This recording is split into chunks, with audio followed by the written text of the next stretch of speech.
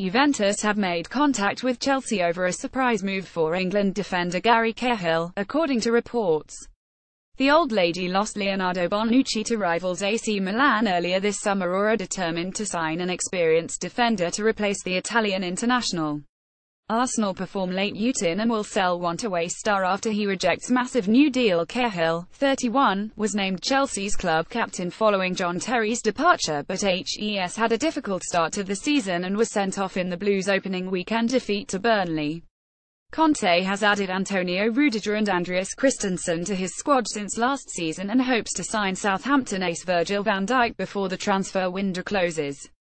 The Dutchman's arrival would push Cahill closer to the fringes of Chelsea's squad and the Sun claim Conte would be open to letting him go.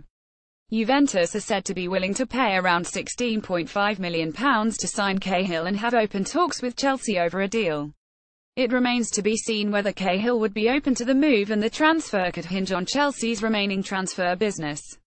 Conte is keen on signing up to four players in the next week, including a centre-back and a full-back. More Ibrahimovic takes pay cut of £225,000 a week to rejoin Manchester United.